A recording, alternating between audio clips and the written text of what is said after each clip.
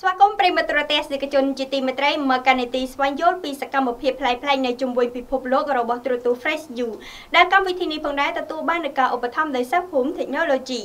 ទស្សនិកជនជាទីមេត្រីយើងចូលទៅទស្សនាជាមួយនឹងវីដេអូទី1គឺតកតងទៅនឹងទីភ្នាក់ងារផ្សាយពាណិជ្ជកម្មរបស់ប្រទេសថៃ បានបង្ហាញពីគម្រោងមួយ ដែលនាំយកសត្វឆ្កែចិញ្ចឹមមកកន្លែងធ្វើការ មិនត្រឹមតែមនុស្សនោះទេដែលអាចអង្គុយធ្វើការនៅលើតុការិយាល័យភ្នាក់ងារពាណិជ្ជកម្ម Digital នៅទីក្រុងបាងកកសម្បីតែសត្វក៏អាចចូលរួមអង្គុយនៅលើតុធ្វើការនៅក្នុងការិយាល័យបានផងដែរ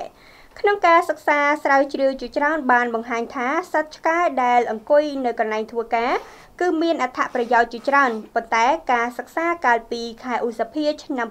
2017បានឲ្យដឹងថា សត្វឆ្កែគឺអាចបង្កឲ្យមានអាឡែស៊ី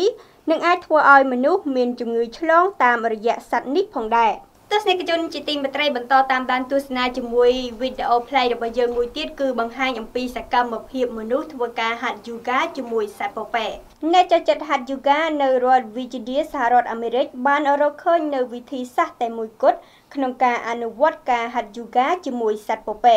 ពួកគេត្រូវចាក់ចេញពីបន្ទប់ហាត់ប្រាណដើម្បីឲ្យមានលក្ខណៈធម្មជាតិនិងចំណាយពេលរបស់ពួកគេជាមួយនឹងសត្វ សត្វពពែលោតនៅលើខ្នងរបស់ពួកគេ នៅពេលពួកគេក្រាបចុះក្រោម